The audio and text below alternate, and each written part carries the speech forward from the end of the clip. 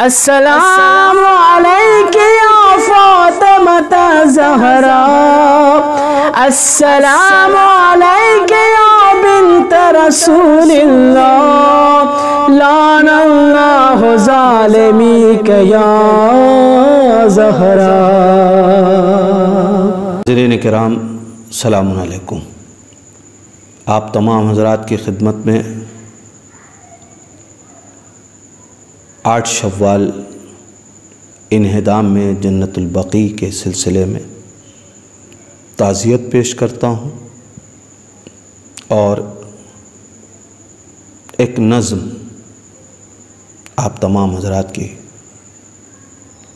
समातों को हदिया कर रहा हूँ। या खुदा, आके मुझसे बेटे ने या खुदा आके मुझसे बेटे ने क्या अजब सा सवाल मुझसे किया? ईद को आठ रोज़ गुज़रे हैं, फिर ये दुनिया में सोग है कैसा?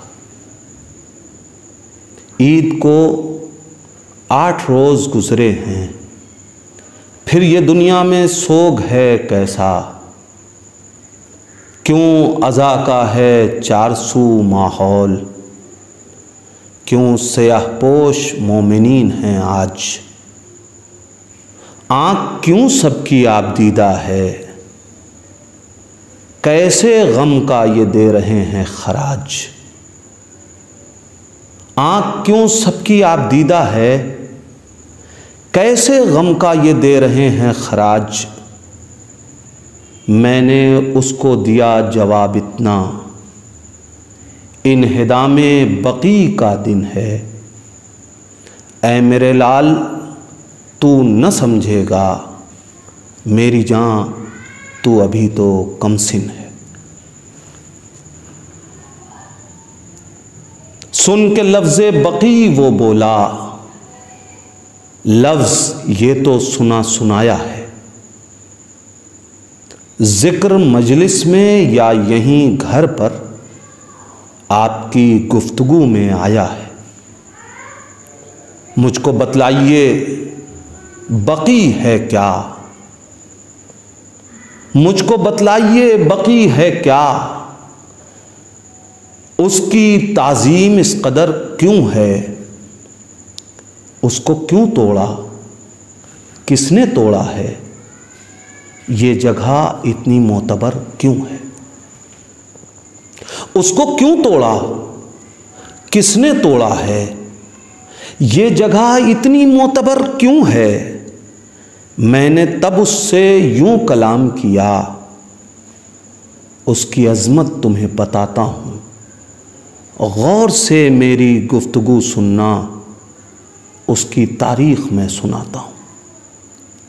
गौर से मेरी गुफ्तगु सुनना, उसकी तारीख में सुनाता हूँ।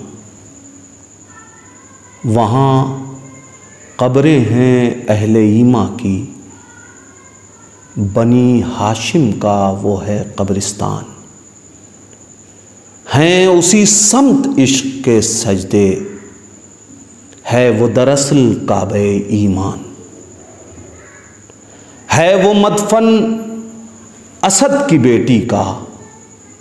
है वो मदफन असद की बेटी का। हाँ वही जो हैं मादर हैदर।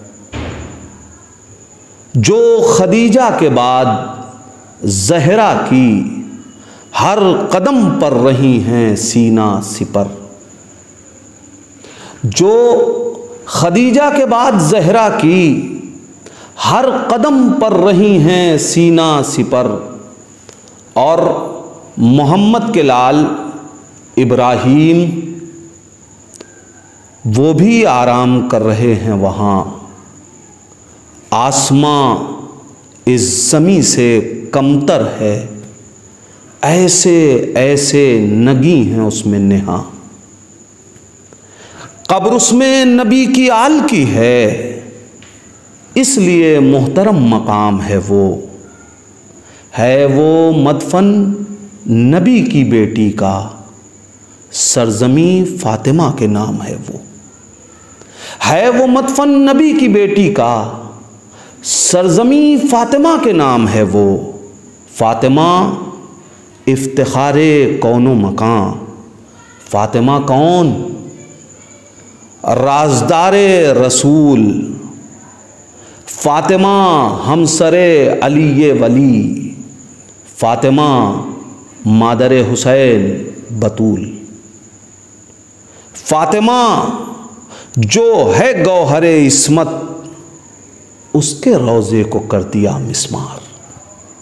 फातिमा, जो है गौहर इसमत, उसके रोज़े को कर दिया मिसमार, जिससे मिलने रसूल आते थे उसकी तुरबत पे अब नहीं जव्वार। जिससे मिलने रसूल आते थे, उसकी तुरबत पे अब नहीं जव्वार। जिनको उम्मुल बनीन कहते हैं हैं जो अब्बा से बावफा की माँ। जिसने पाला अली के बच्चों को, कब्र उनकी भी है, वहीं मेरी जान। कब्र उनकी भी है, वहीं मेरी जान। जान जहरा अली के नूर नज़र। कब्र मौला हसन की भी है, वहीं वो है सरदार खुल्द का मतफन।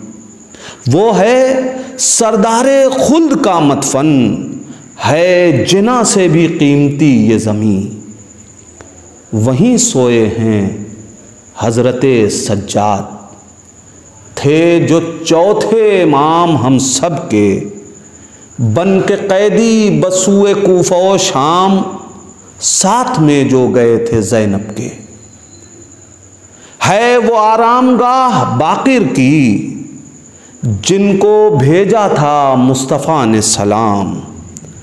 जिनसे फैला जहाँ में इल्म नबी, बाद सज्जाद जो बने थे इमाम।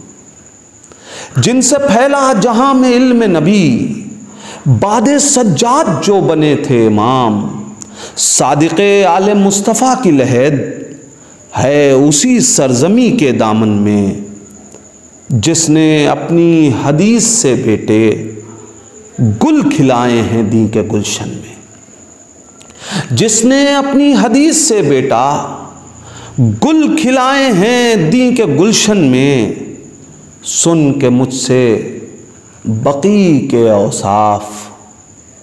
उसने मासूमियत के साथ कहा, सुन के मुझसे, बकी के औसाफ।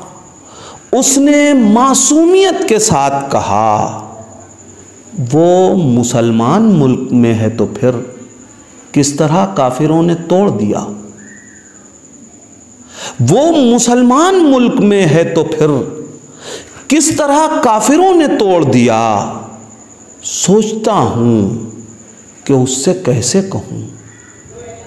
सोचता हूँ कि उससे कैसे कहूँ?